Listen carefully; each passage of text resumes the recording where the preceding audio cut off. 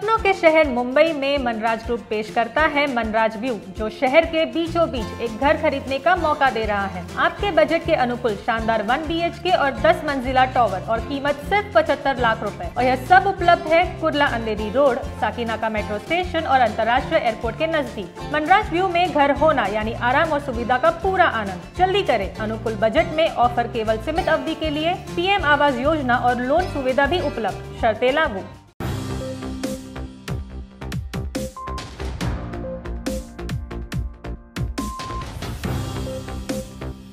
स्वागत है आप सभी का डीआरवी न्यूज़ पर।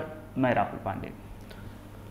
शुक्रवार को कांग्रेस पार्टी की अध्यक्षा सोनिया गांधी ने समान विचारधारा वाले दल और गैर भाजपा शासित राज्यों के मुख्यमंत्रियों की बैठक बुलाई। इस बैठक में तमाम पार्टी के बड़े नेता जो हैं वो शामिल हुए और अपनी अपनी बातें जो हैं रखी हैं।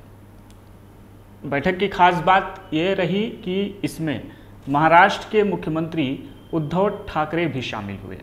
आपको बता दें कि महाराष्ट्र में फ़िलहाल शिवसेना, कांग्रेस और राष्ट्रवादी कांग्रेस पार्टी की सरकार है। जब खबर आई कि उद्धव ठाकरे इस बैठक में शामिल होने जा रहे हैं तो इसको लेकर विपक्ष, यानी कि भारतीय जनता पार्टी के बड़े नेताओं ने उद्धव ठाकरे को निशाने पर लिया। हालाँकि इस बैठक में उद्धव ने क्या कहा है, देखिए इस रिपोर्ट में। महाराष्ट्र के मुख्यमंत्री उद्धव ठाकरे ने विपक्षी दलों से जनता का भरोसा जीतने और एकजुट रहने की अपील की है। कांग्रेस अध्यक्ष सोनिया गांधी की ओर से शुक्रवार को बुलाई गई विपक्षी दलों के नेताओं की ऑनलाइन बैठक के दौरान उन्होंने यह अपील की। शिवसेना नेता संजय राउत ने शनिवार को बताया, ठाकरे ने बैठक के दौरान इस बात पर ज़ोर दिया कि दलों को जनता का विश्वास जीतना होगा। उनके मुताबिक, बैठक में ठाकरे ने कहा कि अभी तो विपक्षी दलों में सत्ता को लेकर कोई लालसा नहीं है, लेकिन जब सत्ता सामने होगी, तब भी विपक्षी दलों पर लोगों का यह भरोसा होना चाहिए कि वे मज़बूत और एकजुट रहेंगे। उधर, पीपुल्स कॉन्फ्रेंस के अध्यक्ष सज्जाद लोन ने कहा कि विपक्षी दलों की बैठक में आर्टिकल 370 का कोई ज़िक्र नहीं हुआ।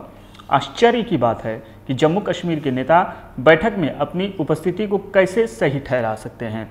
यदि वे नेताओं को इस बारे में बात करने के लिए नहीं मना सके बीजेपी का आर्टिकल 370 के खिलाफ रुख साफ़ है। राष्ट्रीय स्तर पर विपक्ष का रुख क्या है?